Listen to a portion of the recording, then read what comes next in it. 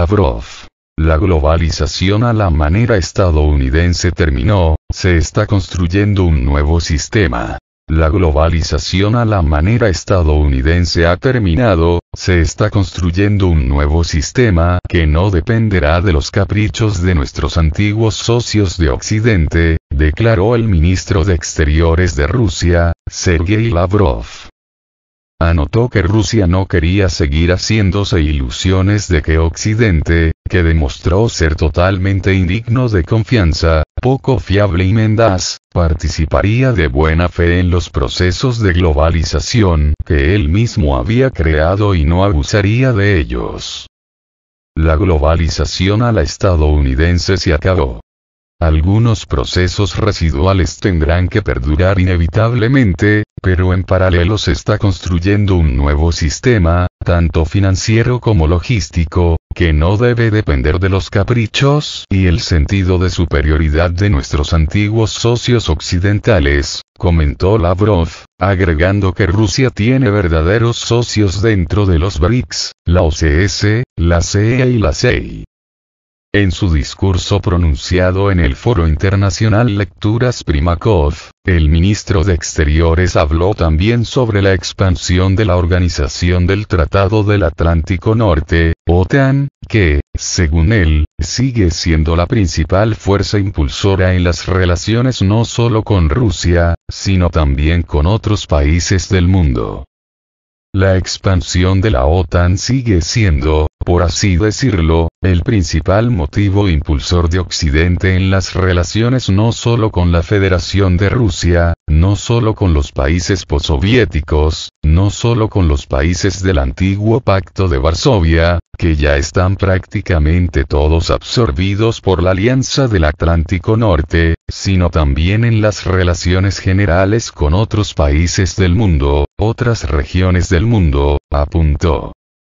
Además, el alto funcionario expuso que la OTAN se negó descaradamente y sin sonrojarse siquiera a admitir que habían prometido tanto a Mikhail Gorbachev como a Boris Yeltsin no expandirse hacia el este, aunque había muchas pruebas de que mentían. En opinión de Lavrov, la OTAN penetrará rápidamente en la región de Asia-Pacífico, tras lo cual reclamará la línea de defensa de la alianza en el mar de la China Meridional. Cuando la penetración de la OTAN en la región de Asia-Pacífico se realice, y esto sucederá rápidamente, creo que volverán a enfatizar que la línea de defensa se mantiene, la OTAN es una alianza defensiva, solo que la línea de defensa estará en el mar de la China Meridional, puntualizó.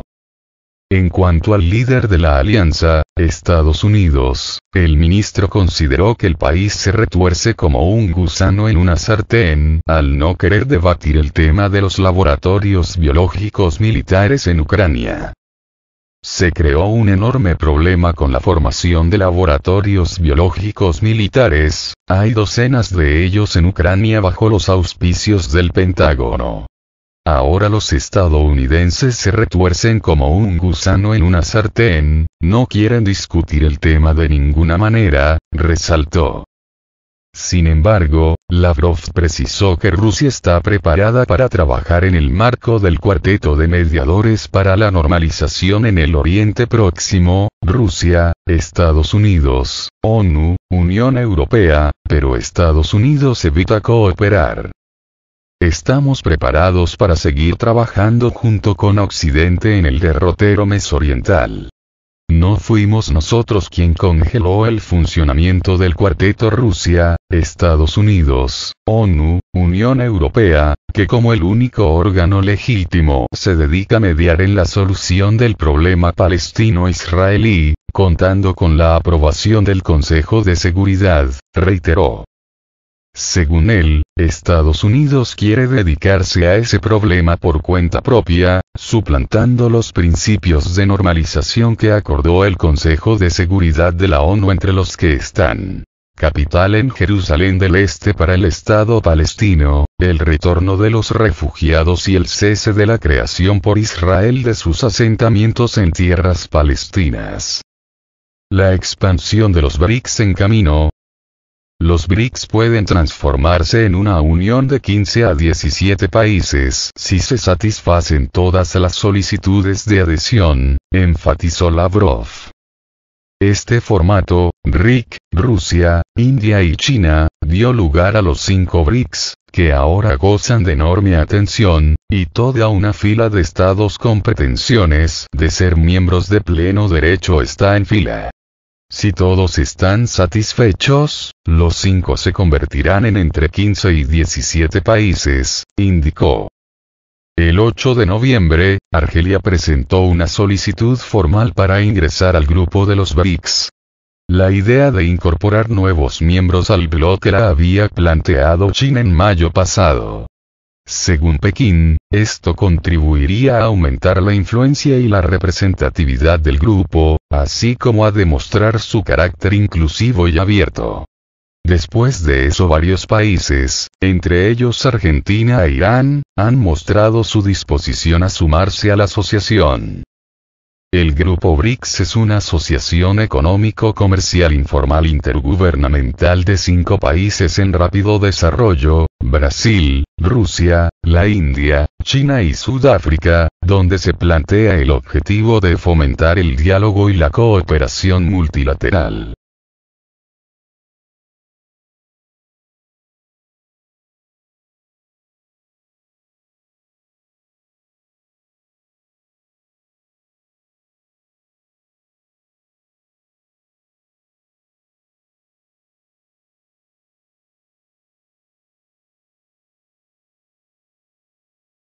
Irán denuncia envío ilimitado de armas estadounidenses a Ucrania. El canciller de Irán afirma que el envío ilimitado de armas a Ucrania por Occidente ha complicado aún más la situación en este país. El ministro de Asuntos Exteriores iraní, Hossein Amir Abdollahian, en una conversación telefónica mantenida este jueves con su homólogo finlandés, Pekka Olavi ha visto, ha abordado los últimos acontecimientos relacionados con las relaciones bilaterales y de interés mundial, como la operación espacial de Rusia en Ucrania. La República Islámica de Irán está en contra de la continuación de la guerra, incluido en Ucrania, y creemos que el flujo descontrolado de armas estadounidenses y europeas hacia Ucrania ha complicado aún más la situación, ha indicado el canciller persa. Teherán ha subrayado en diferentes ocasiones su disposición para coadyuvar a las partes involucradas en dicho conflicto a buscar una solución diplomática y hacer todos los esfuerzos para poner fin a la crisis en Ucrania. Durante la conversación telefónica, Amir Abdollahian también ha informado a su homólogo finlandés sobre los últimos desarrollos en las conversaciones sobre el levantamiento de las sanciones contra Teherán. Por su parte, ha visto ha agradecido por haber sido informado sobre el estado más reciente de las negociaciones del levantamiento de sanciones y una vez más ha expresado su apoyo a la reactivación del acuerdo nuclear firmado en 2015, de nombre oficial Plan Integral de Acción Conjunta, PIAC, o JCPOA, por sus siglas en inglés. En alusión a la cuestión de Afganistán, el máximo diplomático finlandés ha apreciado el papel constructivo desempeñado por la República Islámica en la acogida de refugiados afganos.